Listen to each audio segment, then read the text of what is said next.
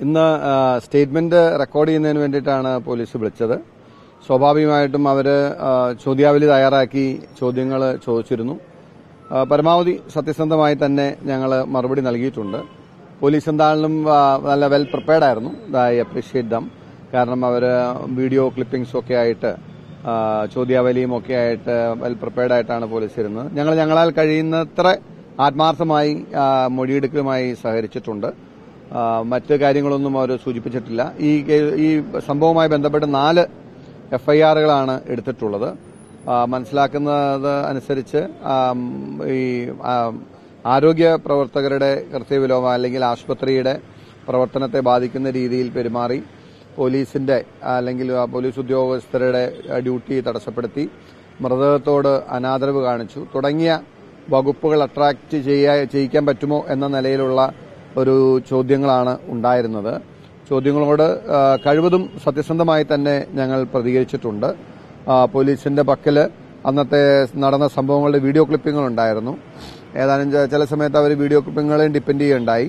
ഞങ്ങൾ കോടതിയിൽ പറഞ്ഞിട്ടുള്ളതാണ് ഞങ്ങൾ ഏത് തരത്തിലുള്ള അന്വേഷണവുമായി പൂർണമായും സഹകരിക്കുമെന്ന്. അതിന്റെ ഭാഗമായിട്ടാണ് ഞങ്ങൾ രണ്ടുപേരും ഇന്ന് ഇവിടെ സ്റ്റേഷനിലെത്തി മൊഴി നൽകിയത്. കഴിഞ്ഞ ദിവസം ഞങ്ങൾ രണ്ടുപേരെ സംബന്ധിച്ച് അസൗകര്യം ഉണ്ടായിരുന്നുകൊണ്ടാണ് ഞങ്ങൾ ആ ഡേറ്റ് ഒന്ന് മാറ്റണം എന്നാവശ്യപ്പെട്ടത്. എനിക്കാണെങ്കിൽ നേരത്തെ മുൻകൂട്ടി നിശ്ചയിച്ച ഒരു പരിപാടി ഉണ്ടായിരുന്നു ഒഴിവാക്കാൻ കഴിയാത്ത പരിപാടി ഉണ്ടായിരുന്നു. അദ്ദേഹത്തിന് ആരോഗ്യപരമായിട്ട് ചെറിയൊരു കാര്യം ഉണ്ടായിരുന്നുകൊണ്ട് ഷിയാസിന് എത്താൻ കഴിഞ്ഞില്ല.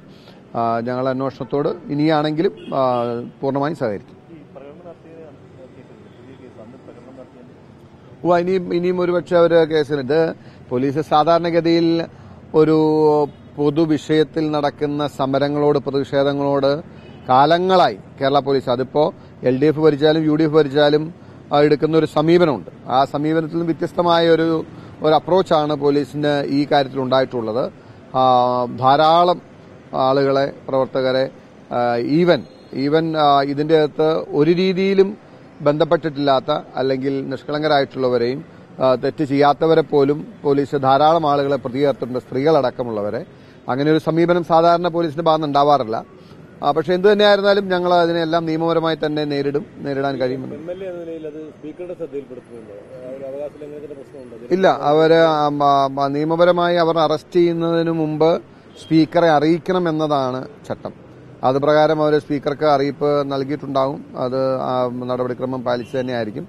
ഞാൻ ആ കാര്യത്തിൽ പിന്നെ എം എൽ എ എന്ന നിലയ്ക്കുള്ള ഒരു ഇമ്മ്യൂണിറ്റി കാര്യത്തിൽ എടുക്കാൻ ഞാൻ പരിശ്രമിച്ചിട്ടില്ല.